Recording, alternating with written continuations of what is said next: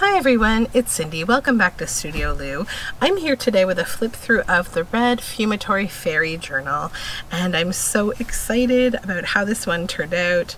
So let's just jump into it. so the cover of this journal has been hand painted a cherry red color and has this beautiful sort of large cabinet card style topper with the Fumitory Fairy here from Cecile Mary Barker and um, on the spine you have two mini bindings here that hold the pages in. This is a two signature journal and down here it says flying free and we have some mushrooms on the spine and you'll see here that there is an eyelet that has a spine dangle attached to it with all sorts of really beautiful beads and charms. I definitely finally used up um, a very special stash of beads that I've been saving from my jewelry making days.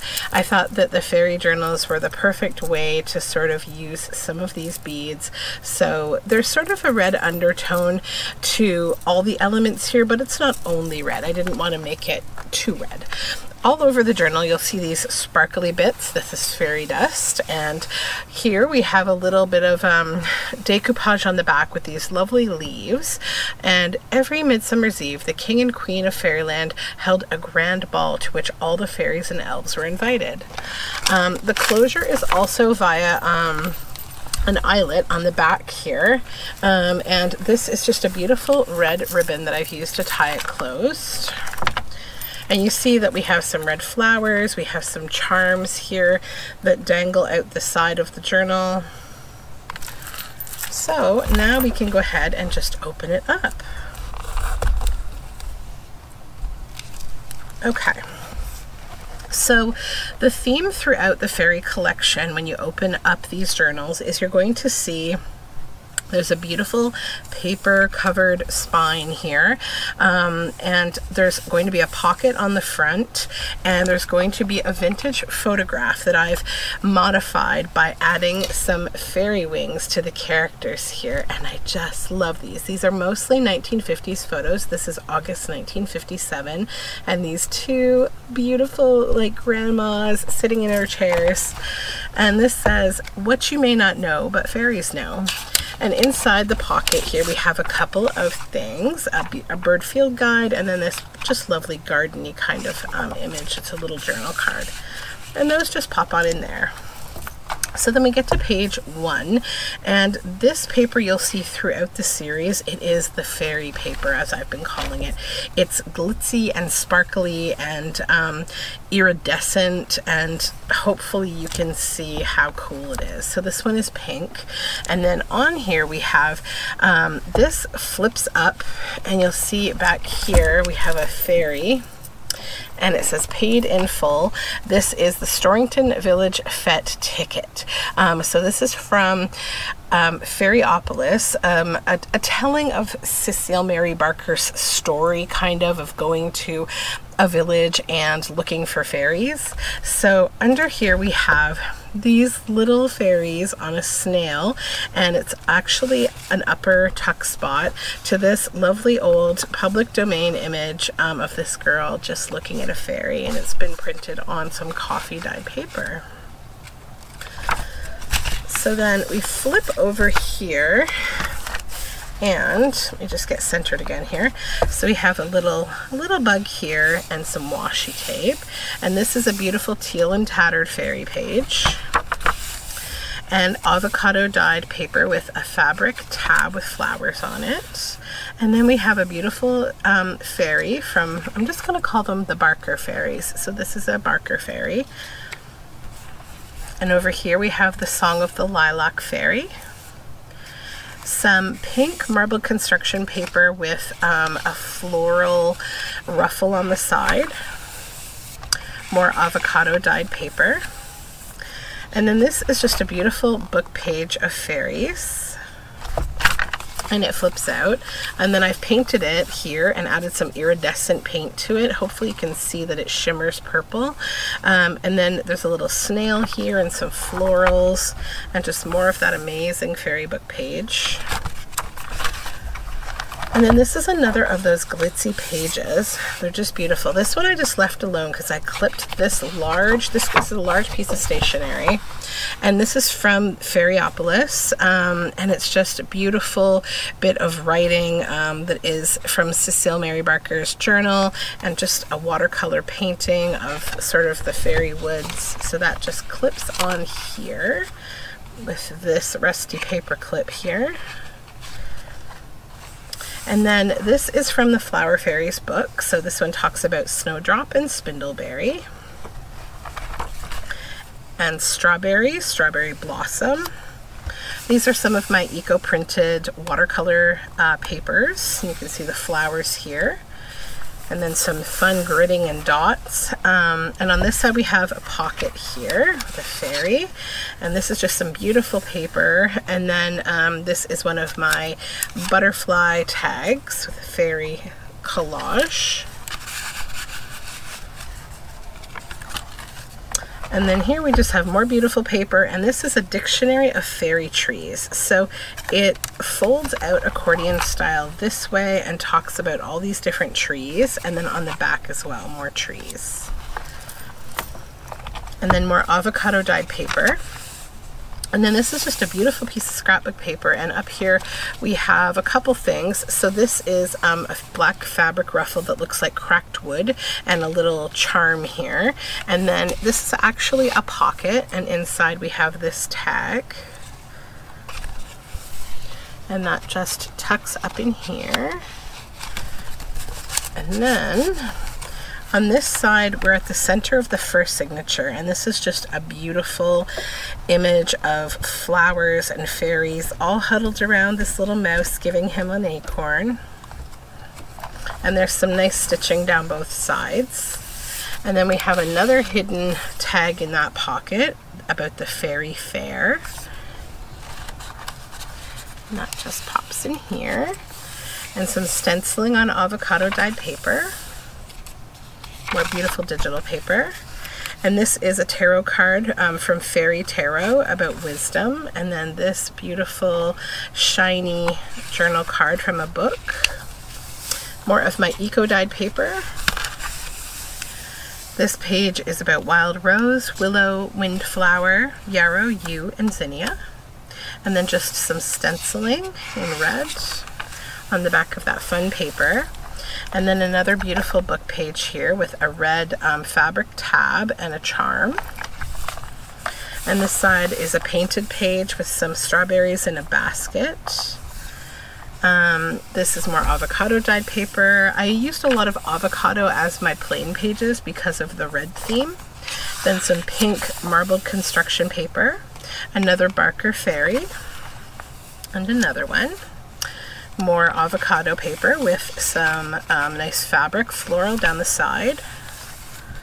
Another teal and tattered fairy page. Another Barker fairy. This is clipped on here um, with, a, it's, it's a postcard. And on the other side, we have this fun tarot card about coming together as fairies.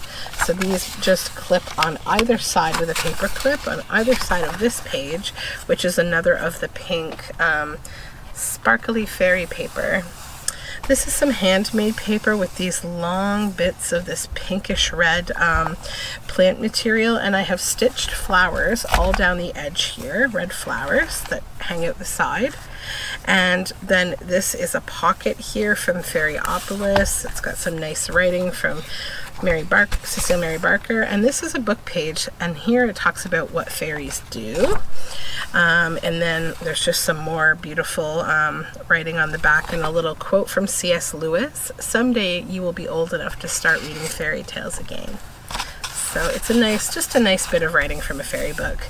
And some avocado dyed um, stationery botanical paper. Um, and some nice fabric down the side here. And we have um, oops, this little charm is looped on here. I just attached these yesterday and I, I was doing it while the books were closed to try to measure how far the fabric was going out. Um, so here we have this book page, which I love, of a fairy sitting on top of an amanita mushroom. and it flips out and on this side it says I do believe in fairies. I do I do I do believe in fairies. Um, Peter Pan. And more avocado paper. And this little pocket is made from a fairy coloring book and then another butterfly tag this one has got some red and orange themes in the collage and some nice red paper and then some avocado dyed paper here with more beautiful fabric and a little blue charm. All of those charms are hand beaded by me from my bead collection on head pins. And then we have some orange fairy paper. It's all yellow and pink iridescent. And clipped over it, we have this. Um, this is another page from Fairyopolis, and it has a little secret envelope pocket in here and this is extremely delicate, almost transparent in parts. Um, could disintegrate if handled roughly. So you pop this in here and see it says a very fragile treasure. It's like a bit of fairy wing and that just um, tucks in here as so. And there's writing space on back. And it clips right on this page here with this little paper clip. This is a little vintage brass paper clip. And then another, um, this is a Jasmine Fairy. And over here it talks about King Cup.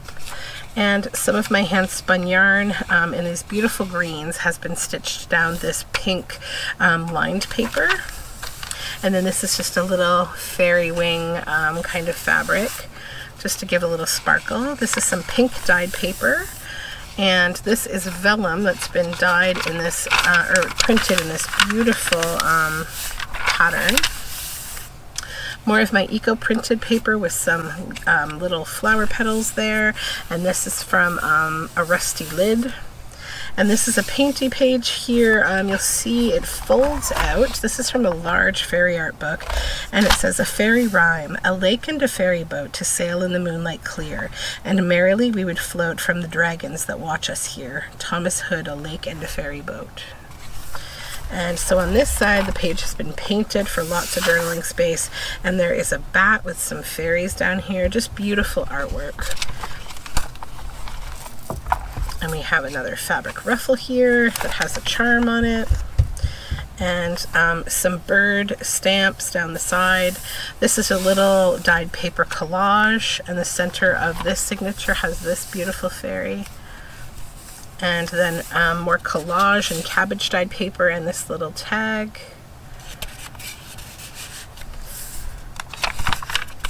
Some birds up here and some cabbage dyed paper. And this actually folds out and has this little bubbling fairy here. And on this side, this beautiful bird nest um, with fairies all around more eco-printed paper and more of that vellum. Um, some tea-dyed paper, more of the fairy wing fabric, and then more pink stationery, the mallow fairy, nasturtium. Um, this is just a fun little uh, over-the-top kind of journal card that's been tucked on here with this fairy, and it's just cut in an interesting shape to go on top of the orange um, fairy paper here. And then we have this little fairy stamp here. This is the Thistle Fairy. And some painty paper, red on back, and a little fabric tab here. And this is Famous Fairies, and it talks about all different famous fairies in legend. Tinkerbell, Sugar Plum Fairy, Titania, Oberon, Puck, Tooth Fairy, Fairy Godmother, Cottingley Fairies, Flora, Fauna, and Merriweather, Maleficent, and then there's some more beautiful writing book page. And this talks about how fairies look at night. And then a little tab here and more of the botanical avocado dyed paper. This is um, this page has been sprayed. It is um, handmade paper, more of the flowers down the side, and we've reached the end here. So we have another little pocket, um, and inside of it we have hummingbird field guide and this big butterfly that you could write on or you could use in another way. I just thought they were nice little additions to include in the journal. And then we have some mushrooms down here on this vintage. Um, this is a vintage card.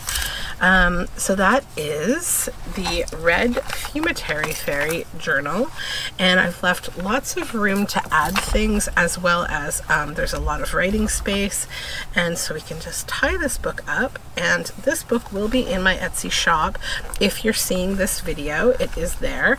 Um, and thank you so much for joining me. This is the first in the Fairy Journal series, and I have been working for months on these journals, and I am so excited to finally get to share them with you. And um, I hope you enjoyed seeing this one. So have a lovely day. You can find all of my links down below in the description box. Bye for now.